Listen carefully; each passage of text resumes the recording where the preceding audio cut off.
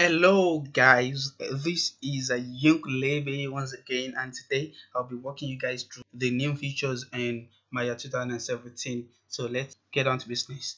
So as you can see, um, if you notice um, that we have green, green highlighted menus and all these menus, they are the new features in Maya 2017 So we can also go into the menus um, above and we can see create LOD group members groups and the likes. This is type sav and the likes. We have a lot of green highlighted menus and those menus in greens uh, they are the new features in maya 2017 we'll be talking about um, the basic basic things in um, these menus that you can easily get on time. And later on i'll be making another tutorials on how to cope with the other things uh, the other new features that we have in Maya 2017. So as you can see, we have something here in uh, the uh, um, camera um, menu section.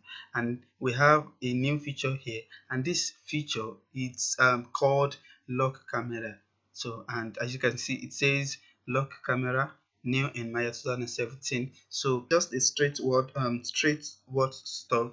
And it's basically um, lock down your camera. So maybe you are working and you have a perspective um, of let's create a camera and this is a camera with i don't know. So um let's go to camera. And that is the camera. So to just this um the view i want to render. So all i need to do is to click on this place and it will lock down the camera. So i won't be able to move the camera around.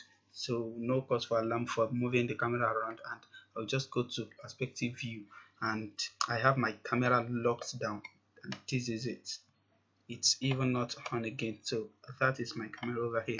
That is one feature. Though we had it in the previous version but not in um so easy it's it wasn't so easy like this so this is just one click button and voila your magic is done so um like I said, we're going to be talking about the uh, basic things, those things that um, in the previous version of Maya before that you can easily get, and we'll be making another tutorials on the rest. I mean, the total new features. Now here we have a, a Bifrost.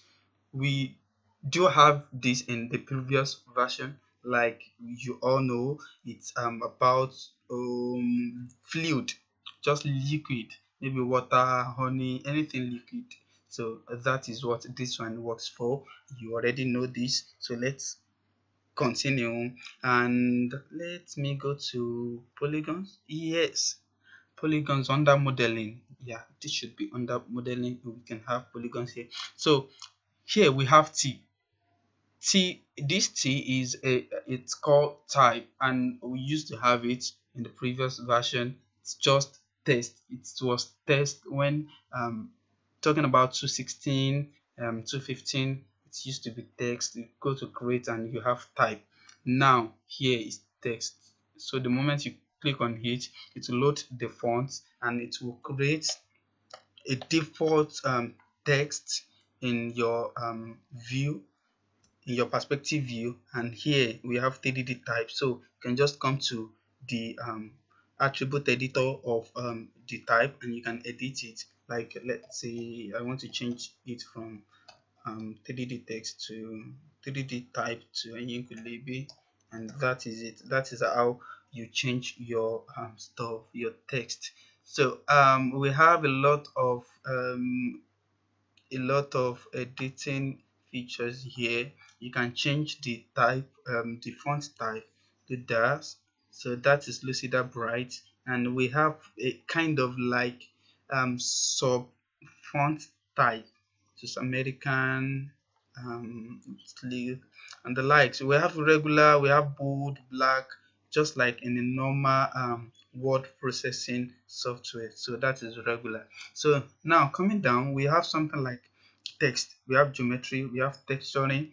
This um this place you can texture harden shader to your text and animation. You can make an animation here. Um, just we can call these um, motion graphics. So let's go back to text. We have this um under alignment. We have left right and the middle. So the moment you click this middle it's gonna take your text or your type to the middle of the grid and that is it. So that is how it works. We have font size. You can increase. You can track like so scaling like a kerning scale. And one stupid type manipulator here. This you can um like edit the type the uh, letters and the type individually. Like this is a. You can edit the a itself like so like so so let me zoom it in so that you can see what is happening over here. Like so so you can click the individual stuff and edit. So that is um the work for that one. So let me delete everything again. So we are left with our um, stuff. So we have the type we've done the type which is also known as text. So we have svg here this stupid feature is more or less uh, like you're creating a like let's see create polygons using scalable vector graphics from a clipboard or an imported svg file. Here the way i saw this um tutorial a tutorial on this svg is let's assume you want to create um the word um, i don't know what they call that circle word so let's say you want to create it with the um, water the sea the ocean on it and the continent on it. So you just need to get the um, picture maybe a black picture of that the word and you just bring it in create a circle in uh, maya and just um, use this svg to extrude the necessary parts that you need to extrude like Africa and other continents. Just extrude it. And this is what works for that. You can check on uh, other tutorials on this. And here we have mirror. This is mirror. It is in the previous um, versions but it's not um, on a, a, a shortcut like this. So now it is just one click button and your magic is done. So we have bifrost like i said it's um, for um, liquid like water anything liquid. So normally we add it in the previous version but it's in under the fx which is um what's it called? Effect. So the motion i talked about this. So for now because of the time let's go straight to that feature that i call Maya 270 itself. That is the major features I see that is magic in Maya 217. Um, and what uh, it does is it's a, a, more or less like a render um, plugin. So it renders, we can use it to render just like other software, um, like a, a software render, like Mental Ray and the likes. So this Arnold do exactly um, the same function but different way. So just click on this and go to render view. Actually you can click also click on the render. Let's see what I've rendered before. So you can go to this is it. We can go to Maya software and other one that we have but I use render these days. But the um if you are not through with your um your project and you keep uh, keep editing a project you can just go to and you want to see the final um, rendering just go to Arnold render view and think yes this is it. So this is Arnold render view. And beauty camera shape. Okay let's use camera shape one or perspective. Yeah so that is it that is it. So here the magic is um the moment you um like edit from the perspective view it will update from um Arnold render view.